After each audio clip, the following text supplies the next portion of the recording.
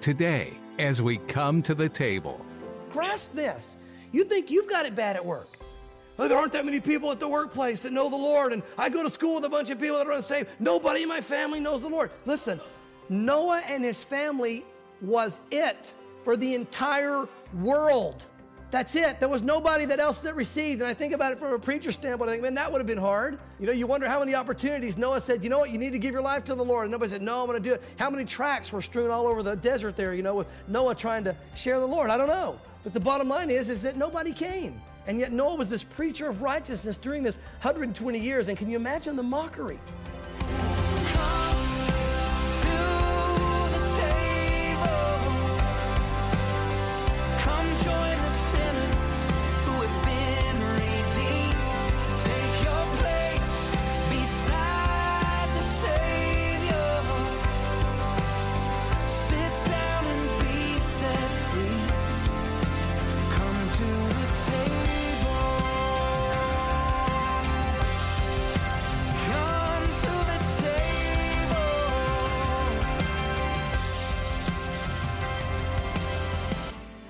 Can you imagine opening up a diner with the best food ever and wanting to just get people in to eat? What if you went out onto the streets and invited anyone and everyone to come in and try your food for free? Imagine now that no one would come in and eat. Well, thanks for taking the time to join us as we come to the table. The daily Bible study program of Mark Kirk, Senior Pastor of Calvary Knoxville. In today's message, Pastor Mark teaches us about how God gave Noah 120 years to warn the people that the flood was coming, and no one listened. Have you answered God's invitation to be saved from the wrath that's going to come on the world? Now, now let's join Pastor Mark in the book of 2 Peter chapter 2 as he continues his message, The Cause of the Flood.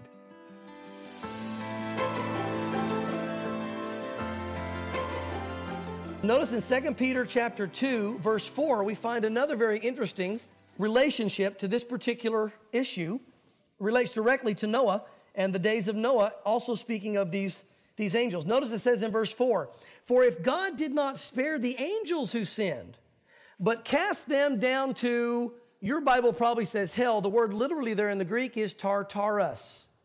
It is the only time in the Bible the word is used and it is apparently some holding tank that God put these fallen angels in. Again, we saw in Jude 5 that God took these angels, 5 through 7, took these angels and put them in some particular place. Right here in 2 Peter chapter 2, we find out where God put them. It's a place where he cast them called Tartarus, some type of supernatural holding tank. It is not the same word used throughout the scripture for hell, which is the word Sheol or Gehenna or other words. No, this is a totally different word. And notice it says he cast them into this Tartarus, these angels that sinned, and he delivered them into chains of darkness to be reserved for judgment. Again, we know these are not the fallen angels alone because they still roam free. This is the fallen angels plus some group of angels within the fallen angels that did something so bad, God said, I'm not even going to give you freedom until judgment day. You're locked up now in Tartarus, and I'll bring you out at judgment day to deal with you, and then I'll deal with the rest of the demons at that time as well. Notice it goes on in the context. This is important to see here. And notice it says, and he did not spare the ancient world, but saved Noah. Now we see Noah tied in, but saved Noah, one of eight people, a preacher of righteousness. Notice Noah was a preacher. I think it's fair to say biblically, Noah here was a pastor. He was a preacher of righteousness, bringing in the flood on the world of the ungodly and turning the cities, again, notice the reference to Sodom and Gomorrah again, turning the cities of Sodom and Gomorrah, that is, those who had gone after strange flesh, into ashes and condemned them to destruction, making them an example to those who afterward would live ungodly, and delivered righteous Lot, who was oppressed with the filthy conduct of the wicked. I believe we see here in these passages, if you'll notice, it mentions the angels, it mentions the days of Noah, it mentions the sexual immorality, and the two are linked together in the passages of Sodom and Gomorrah. And so I believe we see him talking about this, very possibly talking about the event we're looking at in Genesis chapter 6 and may very well be a hint from the Holy Spirit. Either way, we see something going on here so drastic that God had to judge the earth. And there's some other hints in Genesis that make it lean toward that way as well. Let's flip back now to Genesis and get back to the passage. Again, notice what the Lord says here. He goes on after saying that the sons of God had come into the daughters of men. In verse 3, and it says, And the Lord said, My spirit shall not strive with man forever. For he is indeed flesh, yet his day shall be 120 years. Now, notice next, due to man's corruption of whatever it was that took place back here in Genesis chapter 6, God set a limit as to how long he would strive with or allow man to live without bringing judgment. 120 years. Now, Notice this 120 years, God says, I'll bring judgment, but God also noticed that God said, it's going to be 120 years before I bring judgment. What's my point? That is a God of long suffering. Now, again, remember, these are people that God knew were not going to turn, but God said, you know what? I'm going to give you more time. I'm going to give you more time. I'm going to give you 120 years. I still want you to come. This shows the love of God, the long suffering heart of God, and God giving the time to repent. God is a gracious God. Let us never say that God is quick to judgment or that God desires wrath. The Bible says that God desires that none perish. But here's the bottom line God says, No, I give a time of long suffering, a time of patience, a time of grace. And so I think we need to note that first. I think 120 years is plenty enough time to repent, don't you? And yet there's a second lesson in this. Not only is God gracious and long suffering and merciful, but it also shows us that God does finally say, Enough. And although God may be gracious and waiting for us in our time of decision as to whether or not we're going to give our lives to Him and receive His Son as our Savior, the Bible says there'll come a day where God says, That's it, now it's time for judgment. And what's exciting here to me, it was during this 120 years that Noah was building the ark. And again, Second Peter calls him a preacher of righteousness, that he was witnessing and preaching. Now, grasp this. You think you've got it bad at work. There aren't that many people at the workplace that know the Lord, and I go to school with a bunch of people that are unsaved. Nobody in my family knows the Lord. Listen, Noah and his family was it for the entire world. That's it. There was nobody that else that received. And I think about it from a preacher standpoint. I think, man, that would have been hard. You know, you wonder how many opportunities Noah said, you know what, you need to give your life to the Lord. And nobody said, no, I'm going to do it. How many tracks were strewn all over the desert there, you know, with Noah trying to share the Lord? I don't know. But the bottom line is, is that nobody came. And yet Noah was this preacher of righteousness during this 120 years. And can you imagine the mockery? Now, let's lay the groundwork as to why the mockery would be so great. You see, the Bible indicates that it had never rained before the flood. Where does it indicate that? Well, back in creation in Genesis, it says that God made a mist that came up from the ground that watered the earth. And there's no mention of rain until after the flood. And scientists believe that after this water canopy that used to surround the earth, that the Bible talks about in creation, when that was released and the flood was brought onto the earth, that it changed the environment to where there's this moisture exchange, and now we have these rainstorms as we as we know them today. But note this, prior to that, there probably wasn't rain, and I think good theological basis for that. Why is that so key? Because here's Noah in the middle of nowhere building a boat with no ocean anywhere nearby, and this was a large boat boat. This was nothing you would ski behind at the lake on the weekends. And we'll get to that when we see the size of it later on.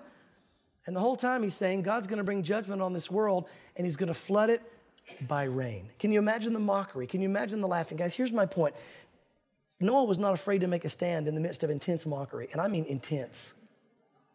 Where are we? Do we sometimes find ourselves backing down because, oh, they may not like me? I want them to like me. Now, I come from an entertainment background, and the entertainer wants people to like them. That's their job. Make you like me. And then if I'm working somewhere and I make you like me enough, they're going to keep me working there. And that's more money for me. And that's more money for you. And everybody's happy, right? Except God, of course. But the point is, as an entertainer, the type of entertainment I was doing, that was the case. But the bottom line is, when we come to the Lord, everyone is not going to like us. That's okay. That's all right. Jesus said this Woe to you if all men speak well of you. Let me ask you a question Does everybody like you? I mean, everybody?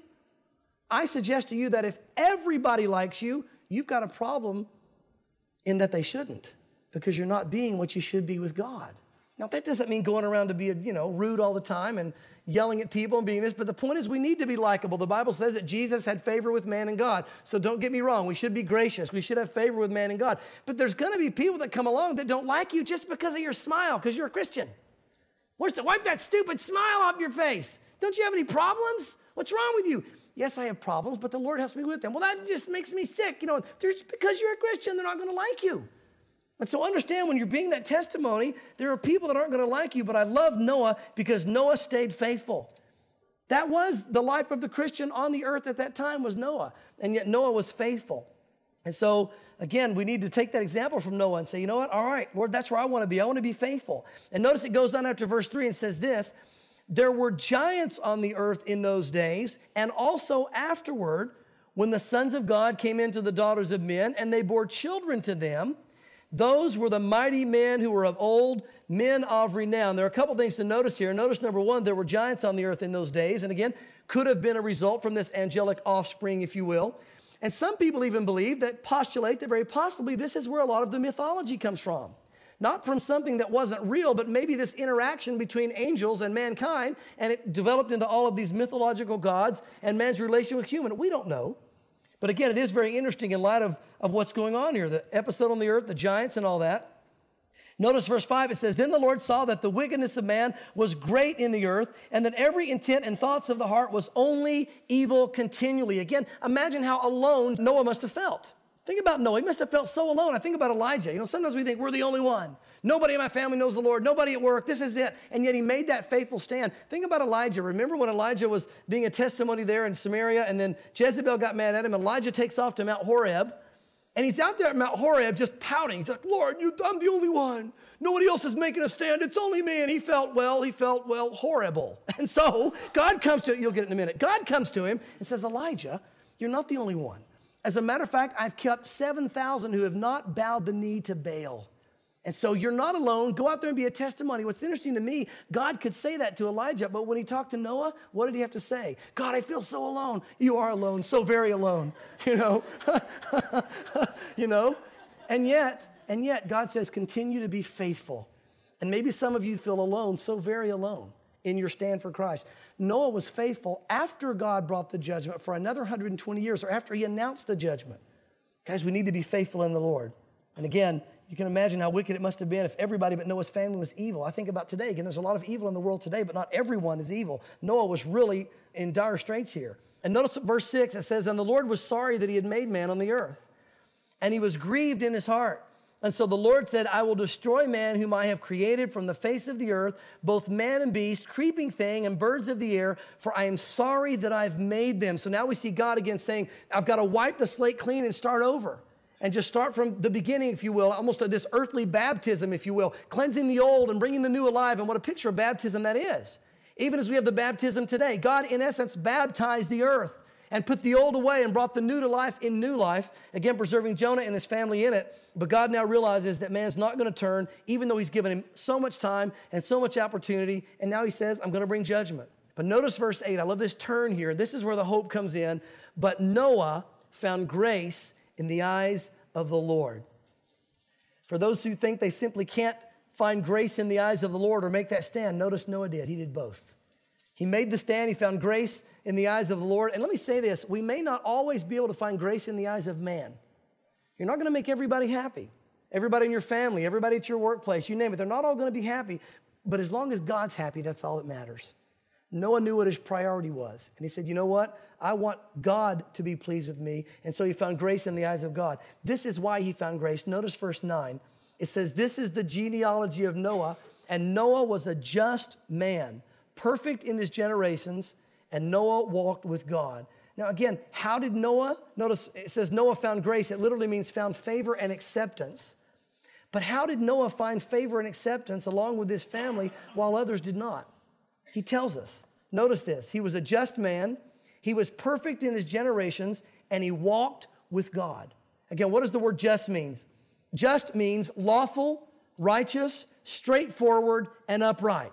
It basically means this was a man of God. He was righteous. Righteous means right with God, straightforward. You knew what, you know, what he meant. What he said's what he meant. He was a man of integrity. He was upright before people. That was the first thing it says about Noah. Notice the second thing it says, he was perfect. Now, again, the word doesn't mean without any flaw at all. It means complete or whole or sound. In Scripture, it's a sign of maturity. And so, what it's saying is, is that Noah matured in the Lord. He spent time with the Lord. He didn't just stay where he was, he spent time with the Lord. And because of that, he became mature. And due to that maturity, he pleased God. Again, we need to be maturing in the Lord and growing in the Lord. Time in the Word, time in prayer. And notice lastly, it says he walked with God. It means as a manner of life. Now, note that as a manner of life, he walked with the Lord. Remember, John talks about those who, as a manner of life or as a lifestyle, live in sin, and those who, as a manner of life, live righteously. And John says that's how you can tell the difference between the true and the fake, the real believer and the false. He said the, the fake believer will say that they're saved, but as a manner of life, they walk in sin. It's just a daily, normal, unconvicted state they stay in.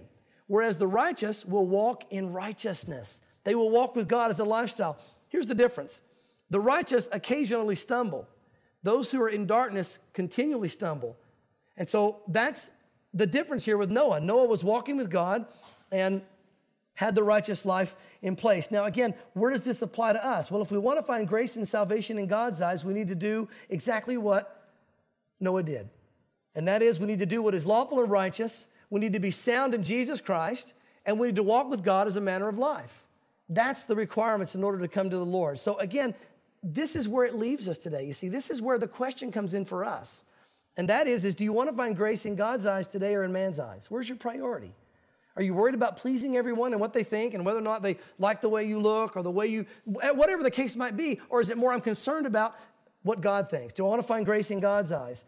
Because that's what really matters and that's what's going to be eternal. How do we find that grace? Well, it's done through Jesus Christ.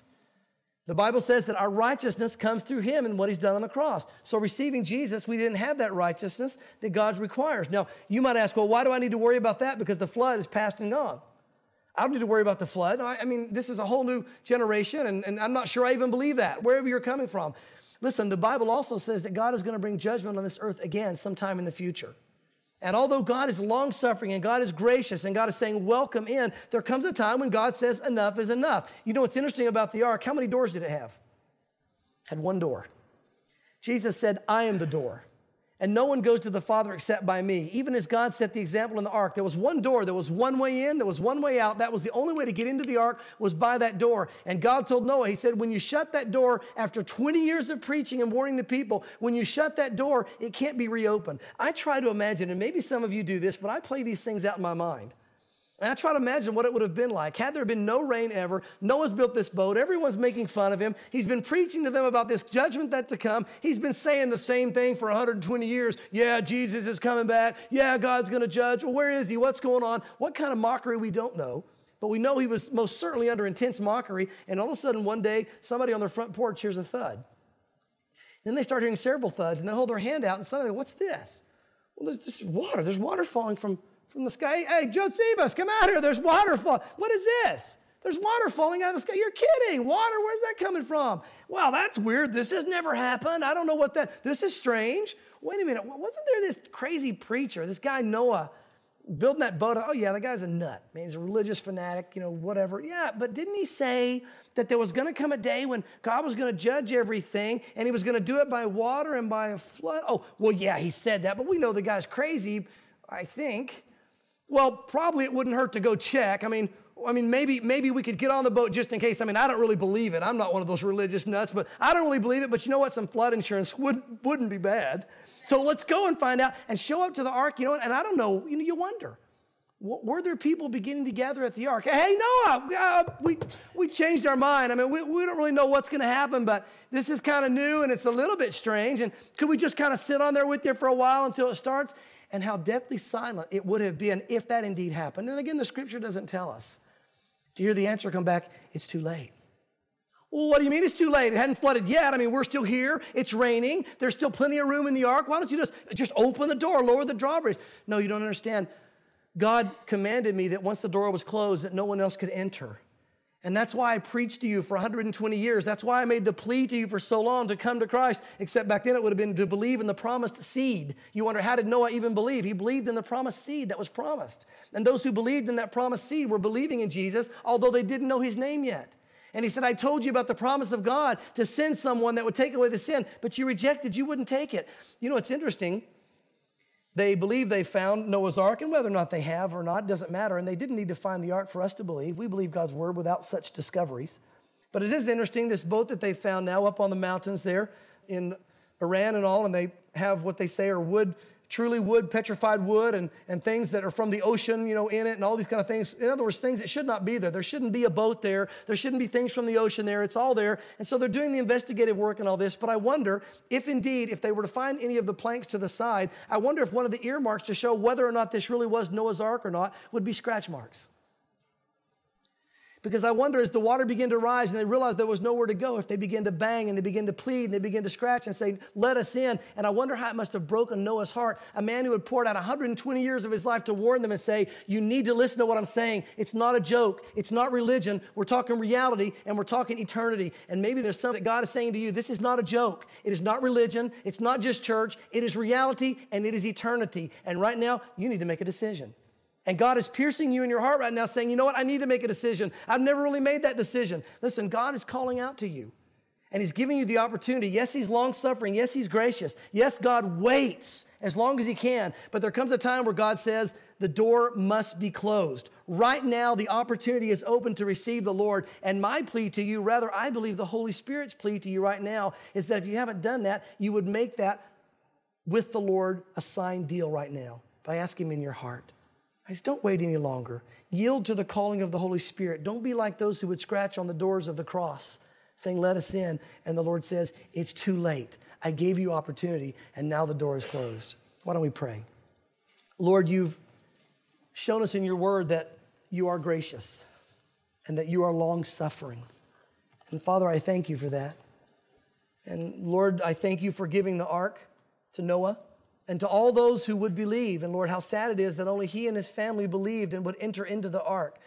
But Lord, today you've given us another ark, the ark of the cross, another door, a way into righteousness, a way into the kingdom. And the only way, as you said, no one goes to the Father except by me, you said, Lord. And we know your word says there's no other name under heaven or earth by which a man might be saved. But Lord, at the same time, we have to receive that. And maybe there's some here today that have been hearing the gospel over and over and over, but they've never truly made a commitment. They've never said, I want on board. Lord, don't let them miss the boat. And I pray you would just pour out a spirit of conviction and yet a spirit of love and begin to move in hearts right now. Noah was very bold in his speech, and those who got on the boat were bold to walk on them. And God asks us to make that public proclamation.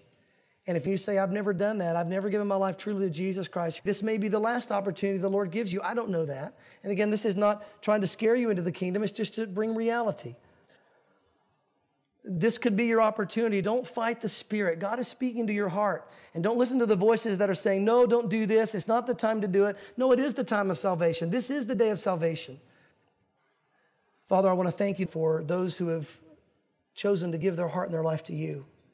And Lord, that they now are on the boat, so to speak, with those of us who have already made our profession of faith. God, we thank you for your faithfulness to do that. Pray this prayer with me right now between you and the Lord. Lord, I know that I am a sinner. And I do believe that Jesus died for my sin on the cross. And because of that, I can be saved. Lord, forgive me of my sins. Come into my life and be my Lord and my Savior. And I give my life to you and I want to thank you, Lord, for giving your life for me. And I ask it in Jesus' name. Amen.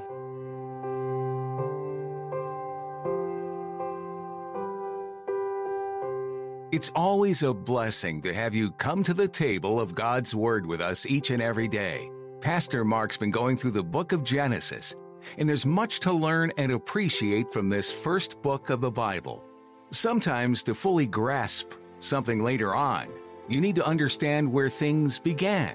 From verse 1, God made it clear that He was there all along, and He set things in motion exactly as He instructed. Isn't it neat to see that all of creation is under God's authority? That includes you.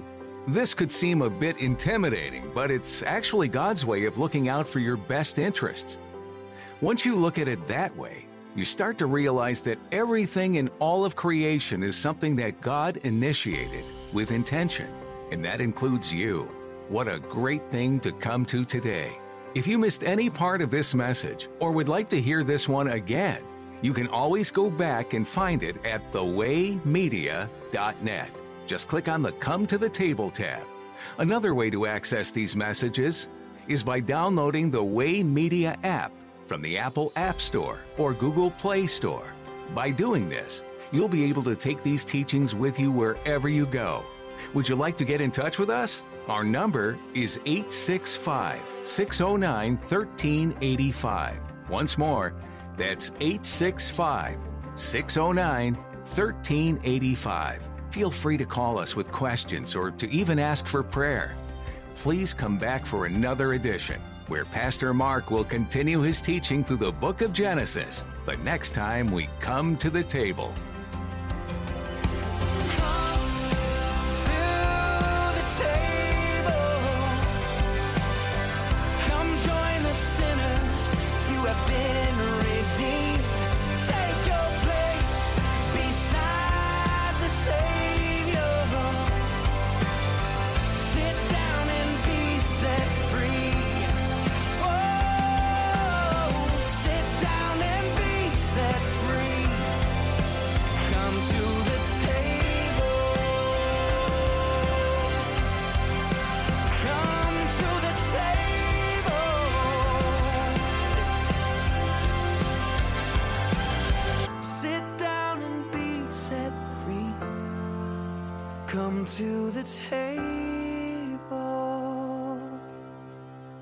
Come to the Table is a radio outreach ministry of Calvary Knoxville.